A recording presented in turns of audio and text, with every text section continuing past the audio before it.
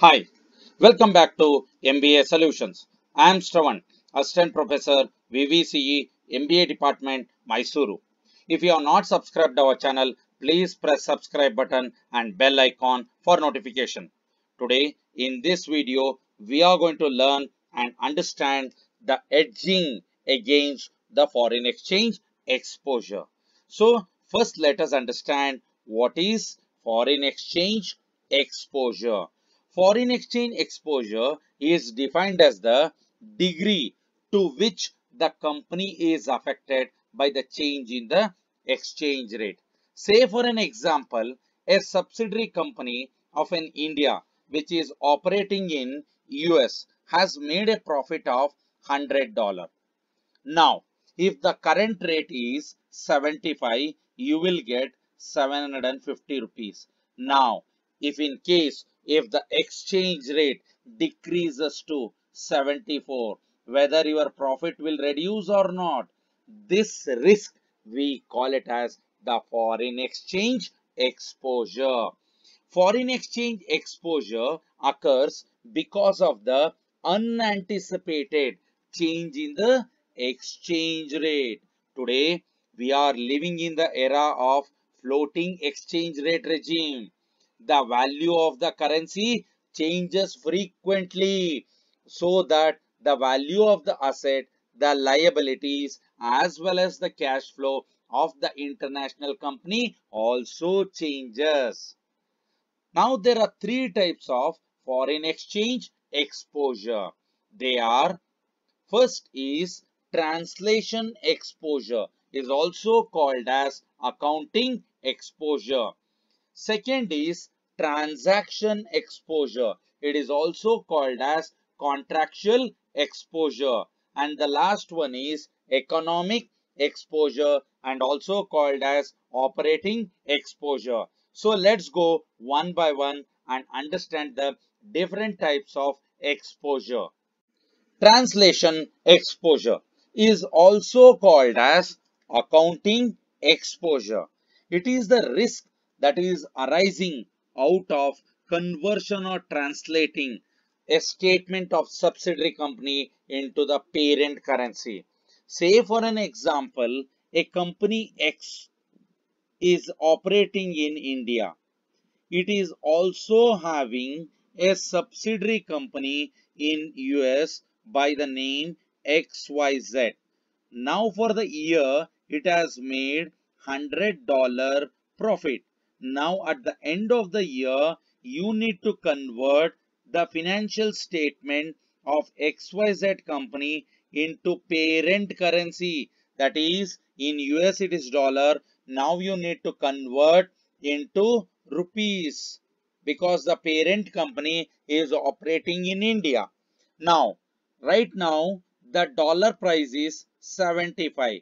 Now, at this rate, you will get a profit of 750 rupees. Now, if the dollar price reduces to 74, what will happen?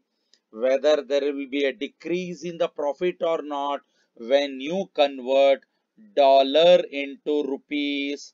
This risk we call it as the translation exposure.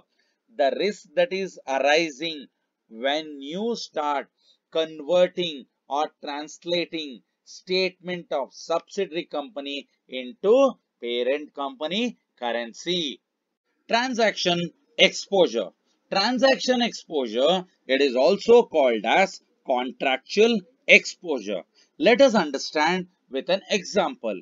Say you are planning to purchase a pen from an US company.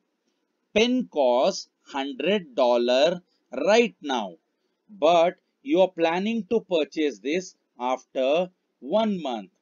Today, the price per dollar is 75 rupees. If you purchase today, it will take you to 750 rupees. But if the price of the dollar, if it increases to 80 rupees, what will happen to your obligation? That means you are supposed to pay 800 rupees after one month. That is an additional of 50 rupees. This risk is there, no? That is arising out of the transaction that you are doing from one country to another country is called as the transaction exposure. That is, it measures the effect of the exchange rate change. How much the effect it has made in your transaction?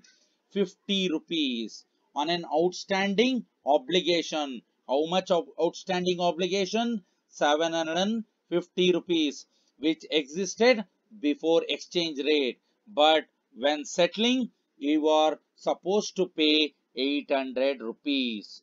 This risk that is arising because of the transactions that is taking place between two different nations, we call it as the transaction exposure. The last is economic exposure. Economic exposure is also called as operating exposure. This refers to the extent which the firm's future earning is affected by the change in the exchange rate. Say for an example, company ABC which is operating only in India. Assume it is earning 1000 crore profit every year. Now all the material required for this company is importing from US. The dollar price is 75. Now if the dollar increases to 80, now whether the profit will remain the same 1000 crore? No. This will reduce maybe 800 crore or 700 crore. Please do remember, don't get confused with the transaction exposure and the economic exposure. Transaction exposure, it is only from the short-term point of view, whereas from the long-term point of view, it is economic exposure.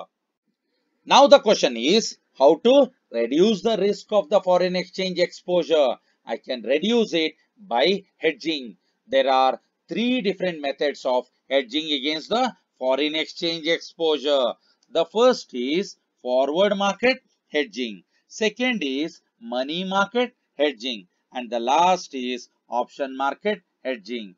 These are the three different methods of hedging against the foreign exchange exposure. Thank you for watching this video. We'll continue with the three different methods of hedging against the foreign exchange exposure in our next video. Until then, thank you.